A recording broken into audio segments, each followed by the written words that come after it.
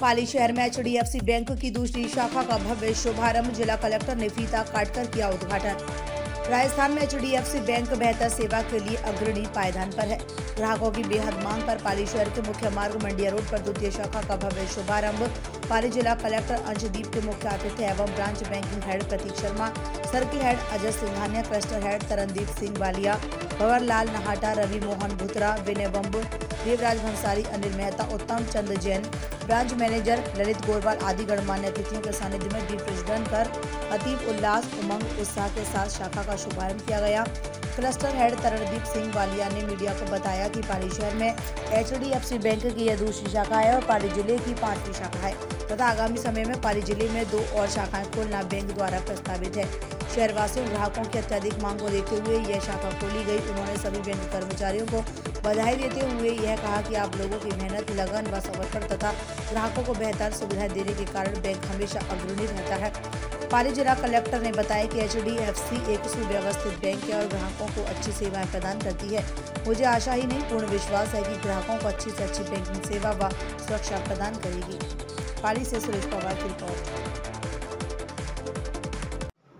Sir जिस तरह से बैंकों में कंपटीशन बढ़ा है और कई तरह की योजनाएँ भी बैंक लेके आ रही हैं, ग्राहकों को आकर्षित करने के लिए भी काफ़ी उसमें एच डी एफ़ सी अपने आप को कहाँ सर, आज की तारीख में हर बैंक कुछ ना कुछ एक्स्ट्रा करना चाह रहा है अपने ग्राहकों के लिए और हम भी as H D F C bank हम भी काफ़ी कुछ अपने ग्राहकों के लिए नई योजनाएँ, नई स्कीम्स नए प्रोडक्ट्स लेके आ रहे हैं। चाहे वो आपके सेविंग्स अकाउंट करंट अकाउंट के लिए हो चाहे वो आपकी रिटेल लोन्स के लिए हो आपके ऑटो लोन अनसिक्योर्ड लोन जो होते हैं पर्सनल लोन बिज़नेस लोन किसी चीज़ के लिए भी हो हमारा अभी क्रेडिट कार्ड भी वापस शुरू हो चुका है उसमें भी हमारे बहुत सारे नए वेरिएंट्स नए स्कीम्स आ रही हैं।